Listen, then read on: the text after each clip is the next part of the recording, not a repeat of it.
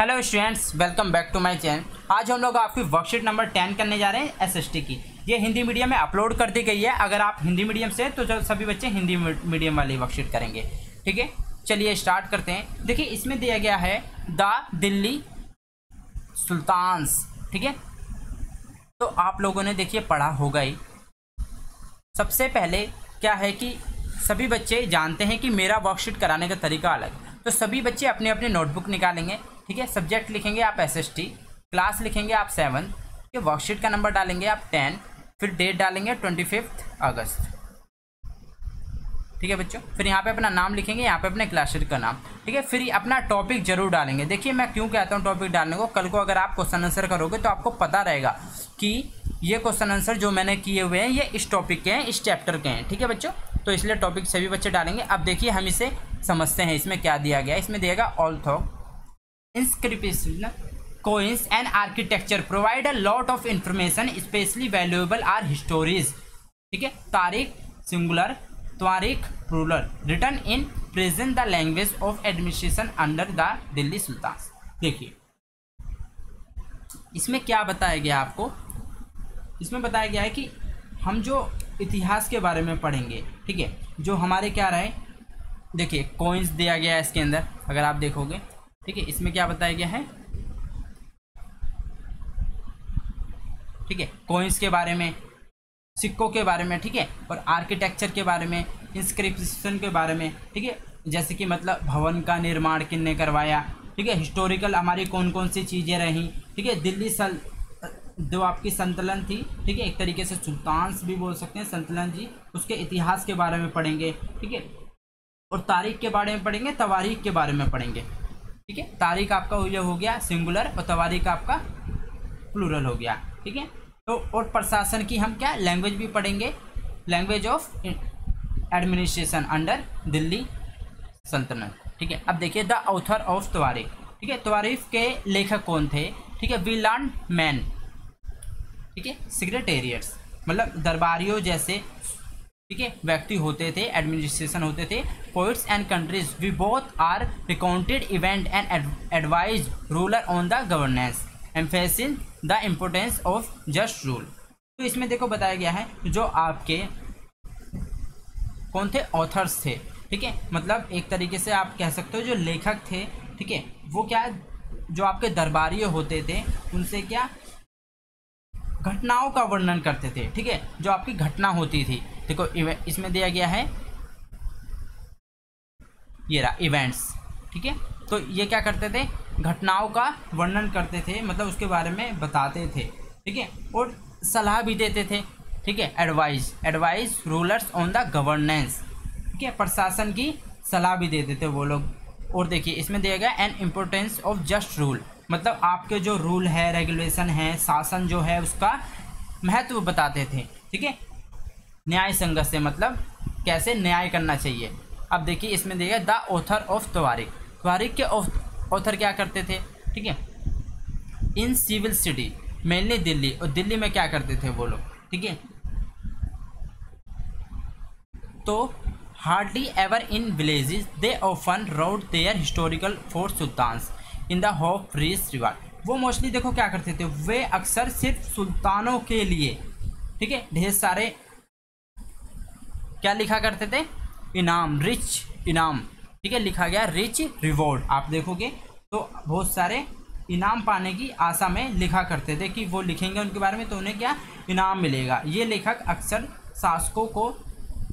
जन्मसिद्ध अधिकार और लिंग भेद पर आधारित ठीक है तो इसमें ये बताया गया this author advise ruler on the need to preserve an ideal social order based on the birth right and gender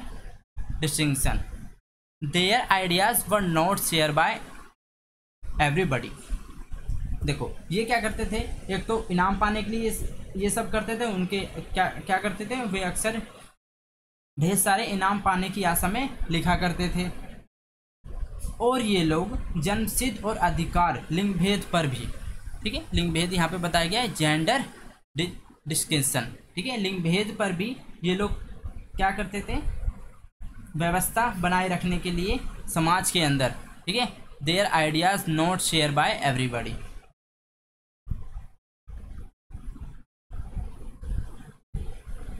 और क्या होता था लेकिन लोग उनकी बातों से सहमत नहीं होते थे ठीक है लास्ट में ये बताया गया अब देखो इसमें लिस्ट दी गई है एक आप लोग देखोगे रूलर्स ऑफ दिल्ली ठीक है राजपूत दयानी से ठीक है तोमर्स अली ट्वेंटी सेंचुरी ठीक है तो ट्वेल्थ सेंचुरी में आपका क्या बारहवीं शताब्दी में क्या था राजपूत वंश था ठीक है राजपूत डायनेस्टिटीज तो देखिए बस आपको ये नाम पढ़ने हैं और ये याद करने हैं अगर आप रेगुलर इन्हें एक दिन में पाँच पाँच बार भी पढ़ेंगे दस दिन तक तो आपको ये नाम याद हो जाएंगे ठीक है अनंगा पाला 1830 से नहीं 1130 से 1145 ठीक है तो ये सब आपको याद करने हैं बच्चों ठीक है आप अगर धीरे धीरे इन्हें याद करेंगे तो आपको याद हो जाएंगे ठीक है स्टूडेंट अब चलते हैं इधर क्या दिया गया आपका यहाँ पे बताया गया Delhi first become the capital of kingdom under the Tomara Raj ठीक है पहली बार दिल्ली कैपिटल कब बनी थी मतलब राजधानी एक तरीके से कब बनी जब क्या था राजपूतों का शासन था ठीक है कब बनी थी ये देखो who were defeated in the middle of the 12th century by the Chauhans, also referred to चहामानस ठीक है फिर क्या हुआ बारहवीं सदी के बीच में तोमर जो अंगराज चौहान ठीक है जहामान नाम से भी जाना जाता था ठीक है ये परासत किया तो इट वाज अंडर तोमर और Chauhan that Delhi become important commercial centre तो दिल्ली क्या बन गया एक आपका महत्वपूर्ण केंद्र बन गया ठीक है अब many rich Jaina merchant live in the city and constructed several temples coins minted here called Dehliwal ठीक है फिर क्या हुआ वहाँ पे अनेक मंदिर बने व्यापारी रहते थे जो ठीक है उन्होंने मंदिर का निर्माण कराया और दहलीवाल कहे जाने वाले सिक्के भी डाले जाते थे ठीक है देखो इसमें ये दिया गया है in the city and constructed several temples coins minted here called Dehliwal ठीक है सिक्के भी बनाए जिन्हें had a wide circulation the transformation of Delhi into a capital capital that control vast area of subcontinent started with the foundation of Delhi Saltanat in the beginning of the thirteen century तेरहवीं शताब्दी में क्या हुआ कि दिल्ली की सल्तनत की स्थापना और उसके जो दिल्ली के एक ऐसी राजधानी बदल गई जिसका नियंत्रण उपमहाद्वीप के बड़े क्षेत्र पर फैला था ठीक है तो ये आपका कंप्लीट होता है अब हम इसका क्वेश्चन आंसर करेंगे ठीक है तो सभी बच्चे क्वेश्चन नंबर एक नोट डाउन करेंगे mention the sources which help us to study history ठीक है आपको नाम बताने हैं जो आपको हिस्ट्री पढ़ने में सहायता करते हैं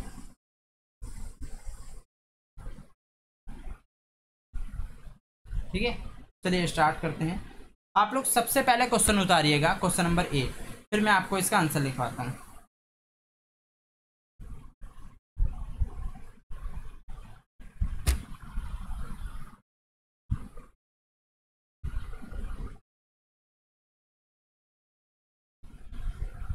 चलिए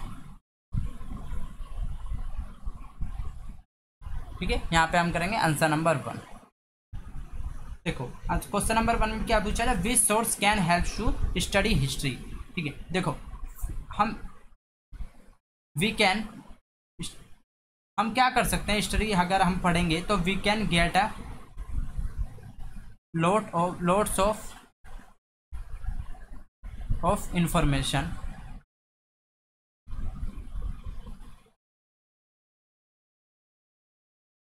Bro.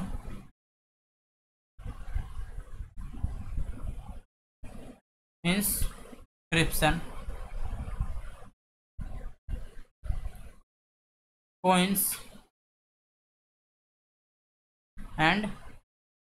architecture.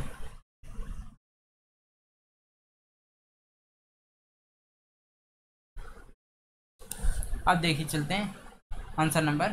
टू पे ठीक है अब आपको क्वेश्चन नंबर टू में क्या पूछा जा रहा है ये रहा how can the study of तारीख बी यूजफुल फॉर अस हमारे लिए तारीफ का क्या यूजफुल था ठीक है देखिए इससे क्या था we can describe describe events administration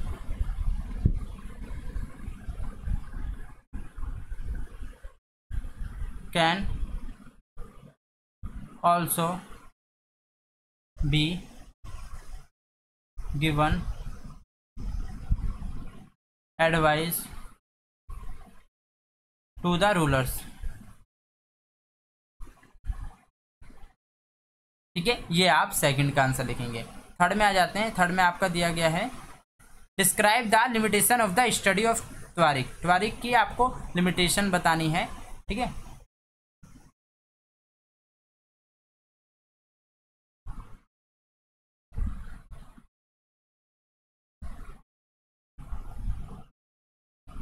The writer of Tawariq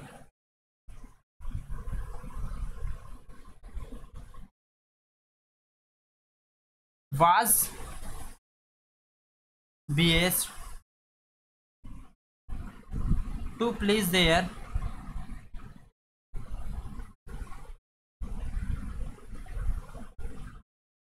sultans. They used to write such ideas that the common people did not agree ठीक है वो ऐसा आइडियाज़ रखते थे ऐसे रूल रखते थे कि कोई नॉर्मल इंसान उसे नहीं सोच सकता और वो उसके लिए एग्री नहीं हो सकता such as the common people such as birth right of the ruler birth right of the ruler rulers ठीक है रूलर्स की स्पेलिंग में एक एल आएगा बच्चों दो नहीं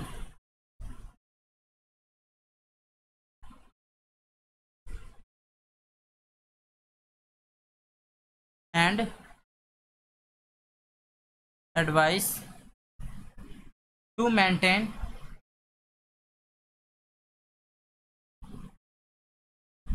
a gender based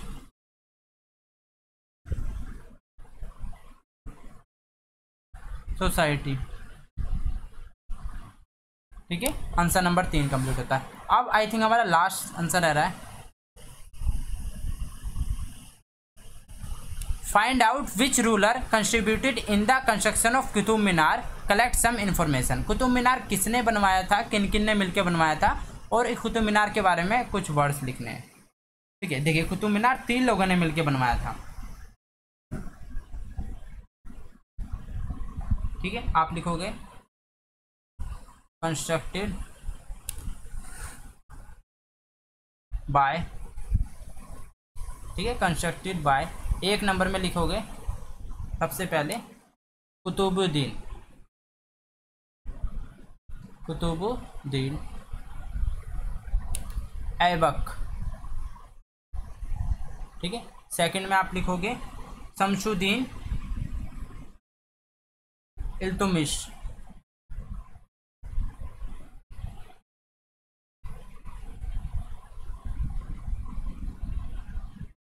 इल्तु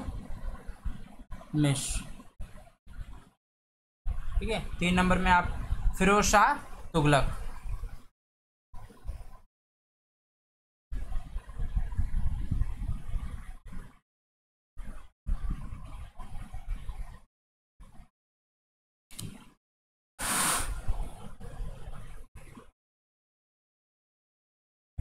देखिए इसमें आ जाएगा आपका Qutub Minar is the highest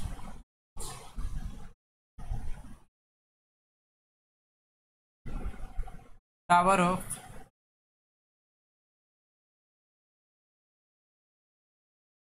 Mehrauli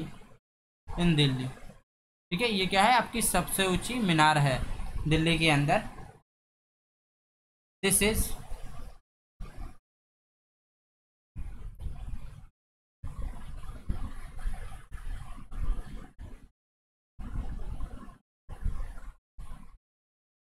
this is about ठीक है seventy two point five metre long ठीक है ये इतनी लंबी है तो इतना आप लिख दोगे इसके बारे में ये इनफ है ठीक है तो आप लोगों ने देखा मैंने आपकी वर्कशीट कितने अच्छे से कंप्लीट करा दी होपफुली सभी बच्चों को समझ में आई होगी ठीक है तो सभी बच्चे इसे कंप्लीट कर लेंगे और आज का क्वेश्चन मैं पूछता हूँ आपसे देखिए ये तीन का आपको बताना है कि इन तीनों ने क्या क्या काम कराए थे कुतुब मीनार में किसने क्या काम कराया था ठीक है बच्चों तो इसका आपको आंसर बताना है देखिए जो भी बच्चा वीडियो को पूरी देखता होगा डेली दस फ्रेंड को शेयर करता होगा डेली मेरे चैनल से वर्कशीट करता होगा अगर वो बच्चा आंसर देगा तो डेफिनेटली उस बच्चे के सेलेक्ट सेलेक्ट होने के चांस ज़्यादा है ठीक है टेलीग्राम लिंक को जरूर ज्वाइन कर लेंगे सभी बच्चे डिस्क्रिप्शन में से मिलते हैं नेक्स्ट वीडियो में till then bye be safe stay healthy जय हिंद जय भारत